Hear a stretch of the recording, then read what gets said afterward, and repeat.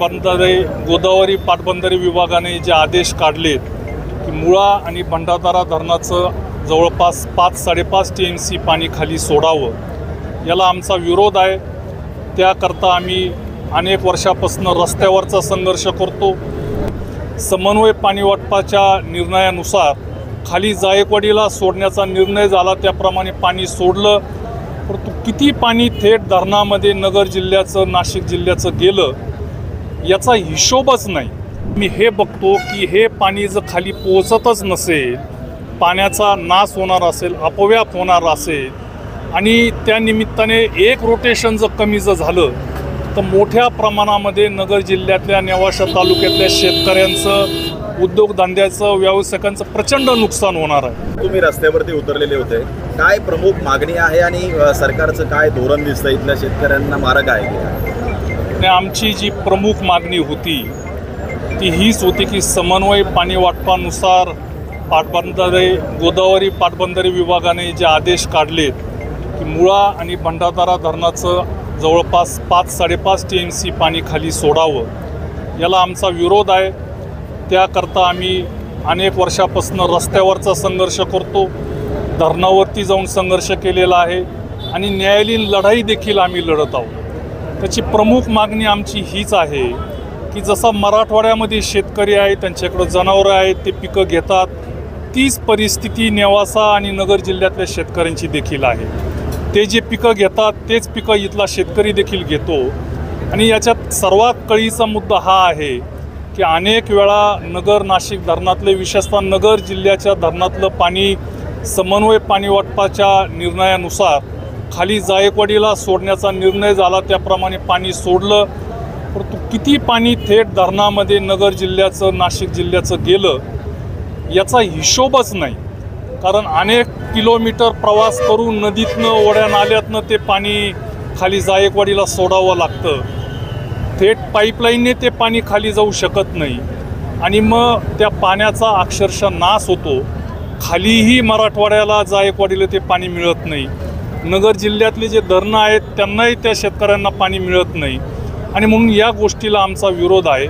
आणि दुसरी देखील जी मागणी आहे की मुळा आणि प्रवारा धरणावरती जे केटीवेअर्स आहेत ते केटीवेअर्स कमी पावसामुळे आणि पाटबंधारे विभागाने ते निडल्स फळ्या टाकू न दिल्यामुळे त्यात पाणी शिल्लक नाही आहे तर आमची मागणी असणार आहे की या दोन्ही धरणातनं या केटीवेअर पूर्णपणे भरून मिळावेत.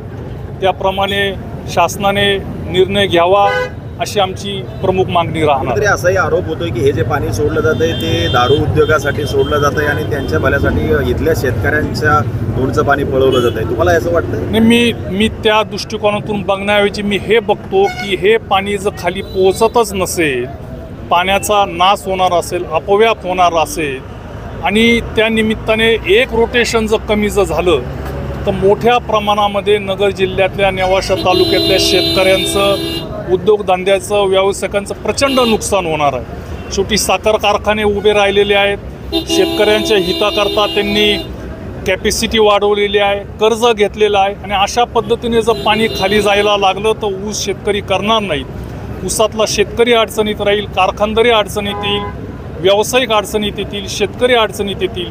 म्हणून आमचा ठाम विरोध या अव्यवहार्य पाणी कायद्याकरता राहणार आहे. समन्यायी पाणी वाटप कायदाच कुठेतरी नगर नाशिकवरती अन्याय करणारा ठरतोय का? आणि त्या संदर्भात मग विधानसभेमध्ये काही भूमिका घेऊन नक्कीच ते ते उघडपणे दिसतं की समन्वय पाणी वाटपाचा कायदा झाल्यानंतर त्याचा फार मोठा फटका नगर नाशिक आणि विशेषतः नेवासा तालुक्यासारख्या मोठ्या तालुक्यांना बसलेला आहे.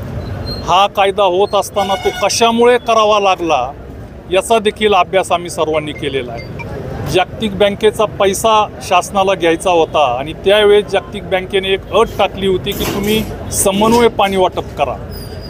त्याच्या पाठीमागे शासनाला हा संदेश द्यायचा होता की तुम्ही आम्ही जागतिक बँक पैसे देतो तो पैसा तुम्ही इरिगेशनकरता खर्च करा पण तो पाण्याचा थेंबन थेंब काटकसरीने वापरा. त्याच्यातनं तुम्ही पाईपलाईनद्वारे किंवा लिफ्ट इरिगेशनद्वारे किंवा स्प्रिंकलरद्वारे ते पाणी जास्तीत जास्त शेतकऱ्यांना पोचावं याकरता जागतिक बँकेने ती अट घातली होती. सरकारने तो पैसा घेतला कबूल केलं परंतु पैसाचा वापर करून काही फार मोठं काम झालं नाही परंतु त्याचा फार मोठा फटका हे पाण्याचं व्यवस्थित नियोजन न केल्यामुळे आज आम्ही भोगत आहोत. आणि येणाऱ्या काळामध्ये आम्हाला याला विरोध केल्याशिवाय आम्हाला पर्याय राहिलेला नाही. मराठवाड्यातले जे नेते आहेत हे पाणी मिळावं यासाठी कुठेतरी संघटित झालेले दिसत आहेत. मात्र नगर नाशिकचे नेते त्या संदर्भात काही करताना दिसत नाही. नक्कीच हे नगरचं नाशिकचं फार मोठं दुर्दैव आहे की या बाबतीमध्ये सर्वजण एकत्र येऊन पक्ष राजकारण हे बाजूला ठेवून भांडत नाहीत. परंतु मी या निमित्ताने बोलल्याप्रमाणे जाहीर करू इच्छितो की मला राजकारणामध्ये फार काही कमवायचं नाही मोठं व्हायचं नाही. परंतु किमान मी थांबतो. परंतु किमान सर्वांनी एकत्र येऊन या गोष्टीतनं मार्ग काढण्याकरता कुठेतरी एकत्र आलं पाहिजे. आणि मला वाटतं की नाशिक जाऊ द्या. नाशिकचे नेते एकत्र येतील की नाही माहीत नाही. परंतु नगर जिल्ह्यातले मोठे मोठे नेते एकत्र जर आले तर याच्यातनं नक्कीच मार्ग निघू शकतो हा विश्वास मला आहे.